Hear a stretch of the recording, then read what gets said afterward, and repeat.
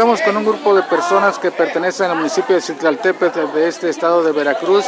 Eh, Yolanda Nava es la directora del desarrollo integral de la familia en esta municipalidad. Eh, Yolanda, ¿qué nos puede decir sobre esta entrega de víveres que han hecho aquí al municipio de Álamo Temapache, sobre todo como parte de los apoyos a las personas que sufrieron afectaciones de esta inundación? Antes que nada, buenas tardes. Buenas tardes.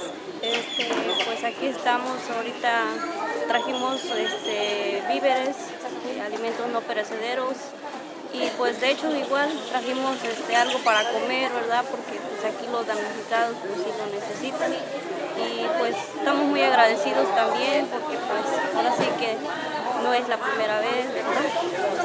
Pueden suceder en otras ocasiones y pues hay que estar atentos a, a las indicaciones que nos den, ¿verdad? Que el tiempo pues seguirá la lluvia. Sí, es interesante resaltar eh, cómo la ciudadanía de los diferentes municipios de zona veracruzana se han unido a, a esta problemática que vive en la ciudadanía del municipio de Álamo Temapache y pues Citlaltepe no se queda atrás. Eh, ¿Algo más que quiere usted agregar?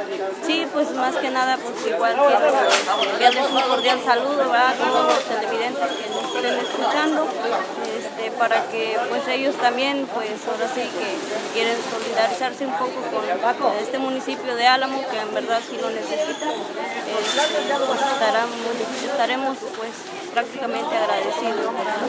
Pues Yolanda le agradecemos eh, sus palabras sobre todo el apoyo que han traído del municipio de Citlaltépetl a todas las personas del municipio de Álamo Tamapacho Veracruz Yolanda Nava directora del desarrollo integral de la familia en el vecino municipio de Citlaltépetl en esta entidad veracruzana. Gracias.